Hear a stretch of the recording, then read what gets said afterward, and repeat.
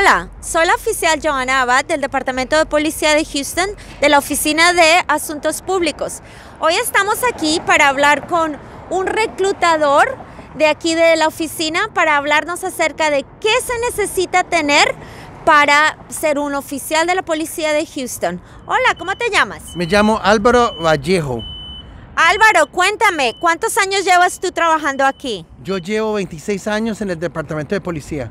Y específicamente aquí en reclutamiento, ¿cuánto tiempo? Yo llevo 8 años aquí en reclutamiento. Bueno, entonces me imagino que has visto cualquier cantidad de personas pasar por aquí buscando trabajo, ¿verdad? Muy correcto, muy correcto, así es. ¿Como cuántas personas procesamos durante el día?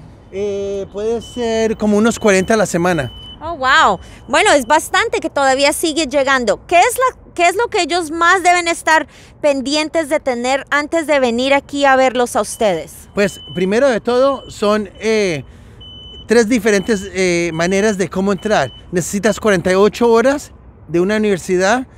La segunda es militar o militar con un eh, discharge honorable con eh, año y medio de militar honorable de cualquier eh, Marines, Army, Navy, cualquier, Navy de cualquiera. Ajá, puede entrar, pero tiene que ser honorable. La otra es trabajando con una compañía de, de cualquier trabajo por tres años seguidos. Y con eso eh, son... el- Es suficiente para aplicar. Ajá. Bueno, entonces quiere decir que quizás yo he estado yendo a la universidad, no tengo suficientes horas, pero estoy trabajando en una compañía y llevo más de tres años, ¿puedo venir a aplicar? Necesitaría una carta de, de tu eh, empleador Ajá. diciendo que de HR Resources que has estado trabajando ahí tres años y con eso te, ayu- te ayuda para, la- la- la en- en- para entrar a- al departamento. Perfecto, bueno, y cuéntame, eh, ¿cómo, ¿cómo se prepara uno para ser un recruit? ¿Cómo, ¿Qué tiene uno que hacer? ¿Físicamente hay, hay alguna, algo que podemos hacer?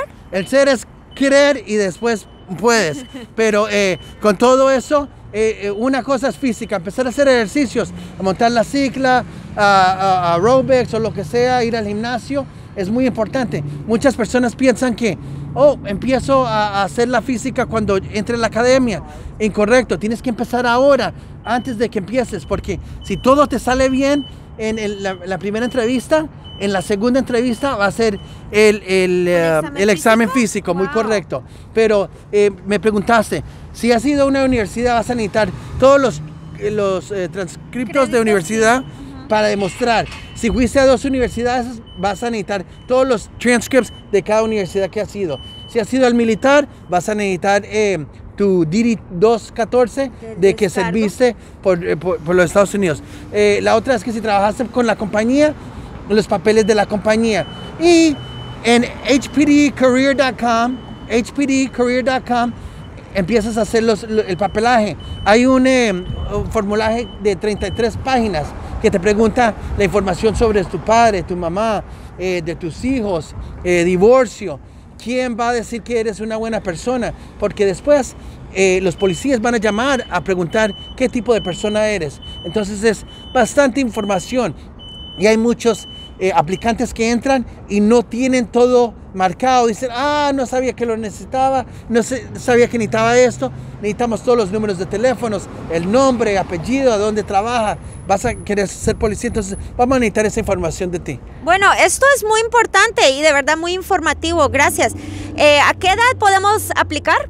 Eh, puedes a los 20, pero tienes que cumplir los 21 antes de graduarse de la academia. Ok, perfecto. Esto me interesa mucho porque tengo un vecino que quiere venir a aplicar eh, con la policía, entonces le voy a pasar la información. De todas formas, si quieren más información, la página de internet es... Es eh, hpdcareer.com. ¿Y el teléfono? 713-308-1300. Perfecto. Bueno, gracias Álvaro por estar con Muchas nosotros gracias. hoy. Y nos vemos a la siguiente vez. Cuídate y respétate entre ustedes todos. You can cut that out. That's funny. That was good. Cuida- Thank you for helping me when you saw me.